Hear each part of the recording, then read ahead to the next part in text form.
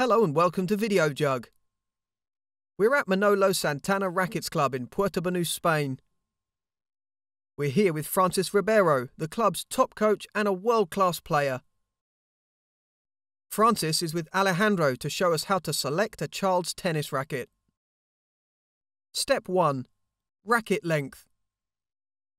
It's important to choose a racket that's not too long and not too short for your child.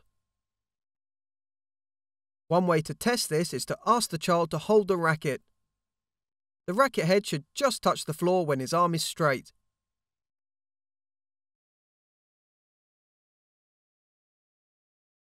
Step 2. The grip. The size of the grip needs to be just right for little hands.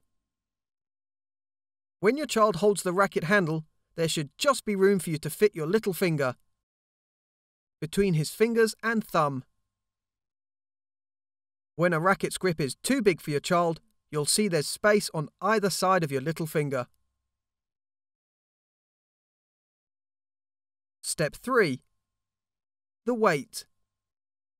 You'll be able to see if your child's racket is too heavy, as they won't be able to hold it.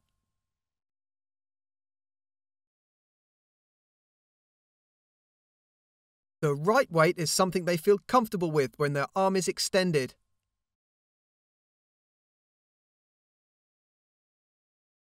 To recap, the right racket for your child is just long enough to touch the floor when his arm is straight, has a grip that doesn't leave space around your little finger, and is light enough that he can hold on to it.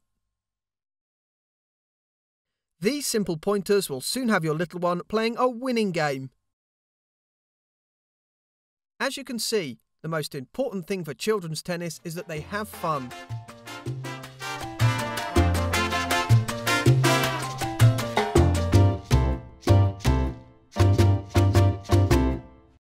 Now you're ready to choose your child's tennis racket and improve their tennis. The Video Jug Way.